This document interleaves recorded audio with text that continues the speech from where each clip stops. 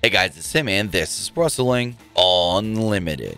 Last Friday, 13 wrestlers were released from the NXT brand and developmental and so forth. It was stated that this was all a Vince McMahon call. Bruce Pritchard, John Laurinaitis, and whatnot assisted in the in the decisions as well. And now we know that well, Triple H, the man who runs NXT, may not have even known that these cuts were coming. According to Dave Meltzer in the latest Wrestling Observer newsletter, Meltzer states, and I quote, those in NXT said that not only did Paul Levesque, who runs NXT, nor Shawn Michaels have a say in the cuts, but they weren't even aware of them until after Laurinaitis started calling the talent. So basically, the way this is worded is Triple H didn't even know that people were getting cut last Friday. Triple H didn't even know that cuts were coming and coming to his NXT brand.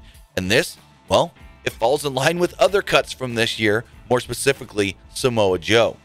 We have heard the news that Triple H actually wanted to bring Samoa Joe to NXT before he was even released by the WWE, and then all of a sudden just found out we've cut Samoa Joe and was completely shocked by it and immediately called Joe to say, hey, let's get you under a new contract. Let's bring you to NXT. I'll use you right.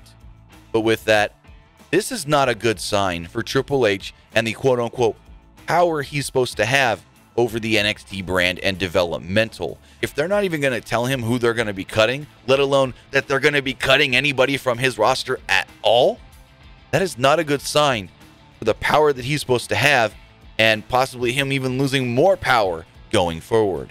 But with that, if we do hear anything else further on these cuts from the NXT brand and how this could impact Triple H's power going forward in NXT, we'll have it for you right here on Pro Wrestling Unlimited. That's going to do it for this episode. Remember to comment below, like and share this video, like us on Facebook, Instagram, and Twitter, and subscribe right here on YouTube.